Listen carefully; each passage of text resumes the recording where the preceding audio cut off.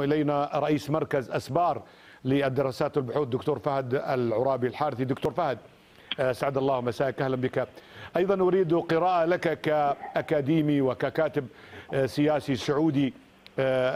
تهتم بأكيد تفاصيل الصغيرة حول هذه الجولة الخليجية وبالتحديد الآن وصول سمو ولي العهد إلى الكويت. أهلا وسهلا أخي جبريل وأحيي أيضا الدكتور عبد الهادي العجمي من الكويت. والمشاهدين الكرام على وجه على وجه العموم. الواقع أنه جولة سمو ولي العهد التي ابتدأها من جنوب الخليج في عمان ثم الإمارات ثم قطر ثم البحرين وأخيرا الدولة الخامسة في المنظومة الخليجية اللي هي الكويت. كلها يعني تشي بأن هناك أشياء لم نسمعها في البيانات الختامية. أعتقد سنسمعها في القمة الخليجية التي ستعقد في منتصف شهر في شهر مارس شهر شهر ديسمبر الحالي. في ديسمبر نعم. هذه في ديسمبر الحالي نعم. أنا أعتقد أنه هناك أشياء لم تعلن في ال في ال في البيانات الختامية التي استمعنا لها واللي هي واللي والتي كانت غنية وثرية بكثير من الأفكار.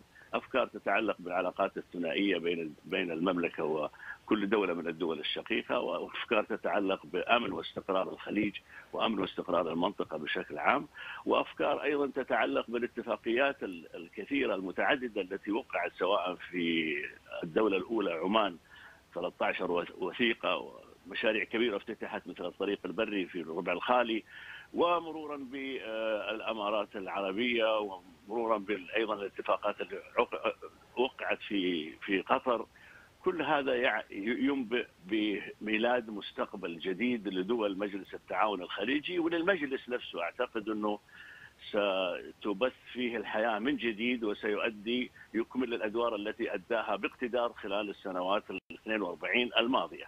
أظن أيضا انه جولة سمو ولي العهد ستنعكس ايجابا على المستوى الاقتصادي ليس ليس فقط في المملكة وإنما في دول الخليج جميعا. والعلاقات مع الكويت بالذات مثل ما اشاروا العديد من المداخلين معك قبل قليل هي علاقة علاقات عميقة وتاريخية وتتجدد باستمرار وهذا طبعا من فضل الله على السعوديين وعلى الكويتيين معا ان أن تكون هناك هذا المستوى من التفاهم بين القيادات القيادتين في في الدولتين وبين الشعبين أيضا، نحن استمعنا إلى كثير من المشاعر اللي عبر عنها الدكتور عبد الهادي والإخوان اللي سبقوه من الكويت وعن عكسه محاولتهم أن يعكسوا الصورة الحقيقية طيب دكتور. ما يعمر دكتور فهد أتمنى أن تبقى معي سنواصل العرابي الحارثي رئيس مركز أسبار للبحوث. دكتور يعني كأنما الدكتور العجمي يقلب شيئا ما حول اهتمام سمو ولي العهد في هذه الجولة في إعادة بلورة الدور المهم الذي يتعلق به المواطن الخليجي أقصد مجلس التعاون. هل تتفق مع هذا أم أن الزيارة أيضا تحمل أوراق أخرى دكتور فهد؟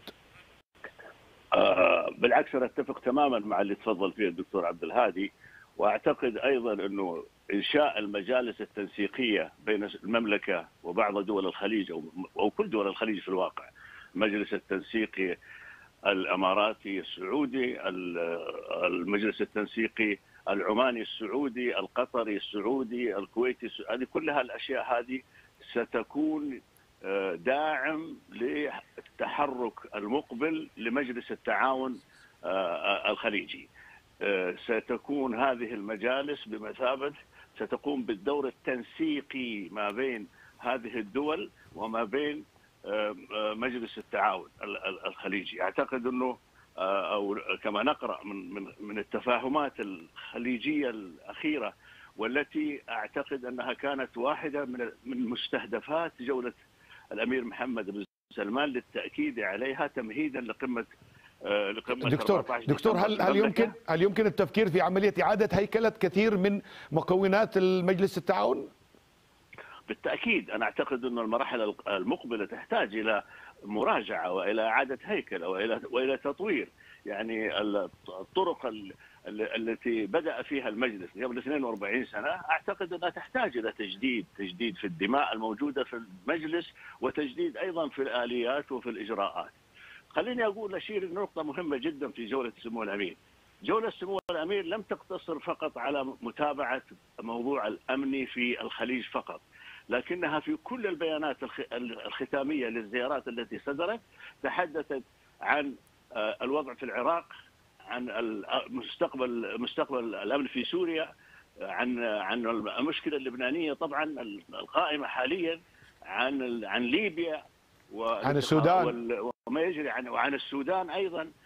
كل كل كل المنطقة العربية كانت حاضرة في الملفات التي بحثت في هذه الجولة. ومعنى هذا أنه دول مجلس التعاون المجتمع أو المملكة العربية السعودية منفردة سيكون لها دور كبير جدا في إعادة أمور هذه الدول إلى إصلاحات حقيقية وإلى أن تنتظم في المسار الصحيح لأنه إذا كنا نريد أو نتطلع إلى ما وعد به سمو الأمير محمد بن سلمان في أن منطقة الشرق الأوسط ستكون أوروبا المقبلة فلا بد أن لا يكون هناك خلافات وأن لا يكون هناك حروب أهلية وأن لا يكون هناك أطماع خارجية في دول في الدول العربية.